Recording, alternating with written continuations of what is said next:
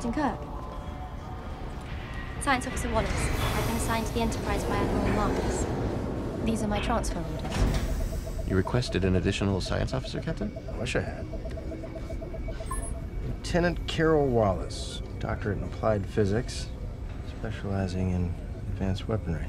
Impressive credentials, Thank you. but redundant now that I'm back aboard the Enterprise. And yet, the more the merrier. Have a seat, Doctor.